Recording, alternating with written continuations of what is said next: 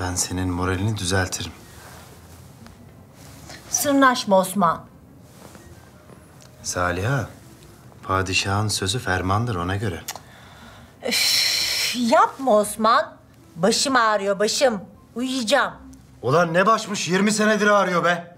Aa, evlenmeden önce söyleseydin kronik baş ağrın olduğunu o zaman. Haremi kapattırmazdık en azından. Öf, ne başmış ya? Osman saçmalama da gel yat uyu hadi. Ne yatması Saliha? Koskoca Cihan padişahıyım. Senede dört kere halvet olursak öpte başına koy. Pandalar bile benden daha çok yapıyor bu işi. Ayol sen gece gece nereye gidiyorsun? Gülhane Hayvanat Bahçesi'ne. Oradaki pandalara soracağım. Siz nasıl dayanıyorsunuz diyeceğim. Yazıklar olsun. Vermedi gitti karı be.